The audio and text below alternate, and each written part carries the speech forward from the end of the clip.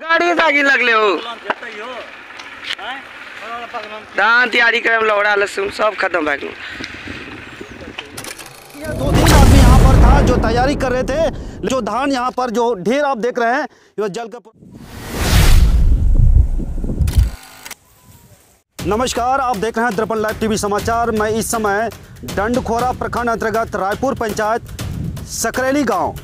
Ward संख्या 15 में मौजूद हूँ और यहाँ पर कुछ आप देख रहे हैं। यहाँ पर धान का ढेर था, यहाँ पर बताया जा रहा है कि यहाँ चार बीघा लगभग धान का यह ढेर लगा हुआ था और यहाँ पर अचानक कुछ लोग यहाँ तैयारी में जुटे थे, लेकिन आज एकाएक जो है एक छोटा सा घर था, उसी घर की तरफ़ से एक आग का लपेट चूँकि आज पछा हुआ भी है और उसी हवा की चपेट में ये पूरा धान का ढेर जल कर पूरा जो है राख हो गया।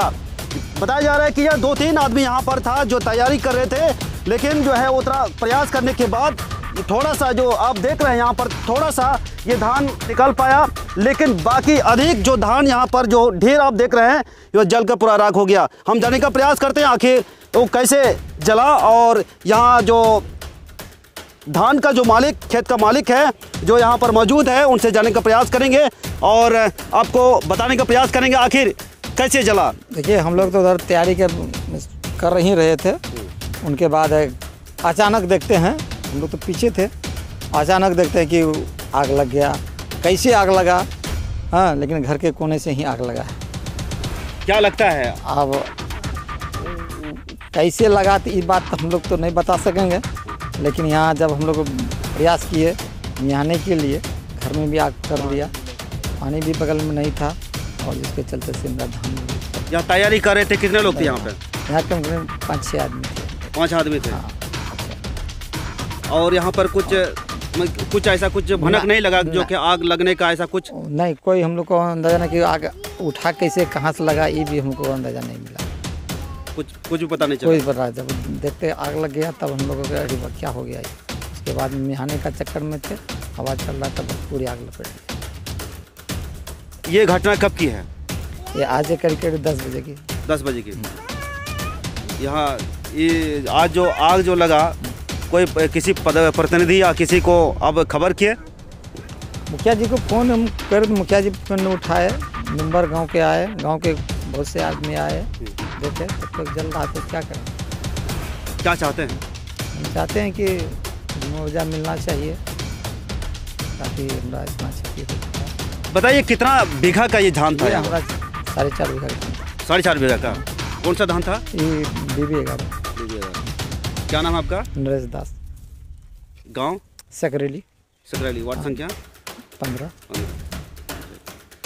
अभी हमारे पास अभी मौजूद है, यहाँ के मेंबर साहब जी हैं, और उनसे भी जानने का प्रयास करते हैं कि आखिर इनके बारे में जो आज जो आग लगी है, उसके बारे में क्या जानते हैं? आग जो लगा, उस समय हम लोग नहीं थे, अब हम लोग गाँव में थे, उसके बाद जैसे अचानक मालूम हुआ कि आग लगा, हम लोग आए तो देखते हैं यहाँ जला हुआ जल रहा था। उसके बाद कोई पानी उनी का सुविधा नहीं था, और बुता नहीं पाया। उसके बाद सारा जो आग लग गया, थोड़ा धान बचा। थोड़ा सा मतलब वही चार साढ़े चार बीघा का धान था। और उसमें बहुत आदमी आया कुछ प्रयास यहाँ पानी का व्यवस्था बहुत कम था ऐसे नहीं कर सका बता सका ये गाँव से कितना दूर में है ये जो आग लगी है? गाँव से मोटा मोटी आधा किलोमीटर कम में है। और इतने आदमी आने के बाद पहले हवा चलने के बाद यहाँ लग चुका जल चुका था। और इससे आदमी बहुत आया कुछ मतलब नहीं निकाल पाया यही सब। क्या चाहते हैं आप लोग जो? चाहते हैं कि सरकार से इससे कुछ मुआवजा मिले और जो जल गया तो वापस नहीं आएगा उससे कुछ जो है सरकार मुआवजा दे इसको और इससे अपना स्थिति अपना संभालेगा। परिचय बता दीजिए। मेरा नाम है गरीबलाल साहब वार्ड नंबर पंद्रह का है और गरीबलाल साहब मेंबर्स हैं? मेंबर है। अभी आपने सुना कि जो है किस तरह के जो यहाँ जो घटना घटित हुई जो ढेर जो धान का ढेर था यहाँ पर जो है अचानक से जो है ये आग लगी और ये किसी को भी जो है पता नहीं था और ये आग बुझाने क्रम ही जो है अधिक धान जो है जल गया और चूँकि यहाँ पर पानी का सुविधा नहीं था इस वजह से जो है धान लगभग साढ़े चार बीघा का धान जलकर राख हो गया। सुनने में आ रहा है कि घर था एक तो आपका? हमारा घर था। अच्छा क्या बताइए। घर फूस का था। अच्छा। घर जल कल के राग हो गया। बाद में हमको पता चला कि घर आपका जल गया तो आकर के देखते हैं कि घर द्वार मकई तकई सब देखते हैं मकई सब जल गया। सब तो मकई जल गया।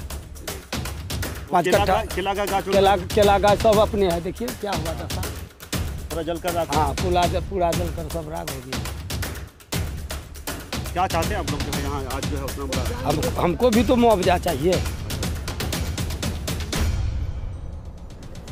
क्या नाम है आपका? ब्रह्मानंद दास। इसी गाँव की है हाँ सकरेली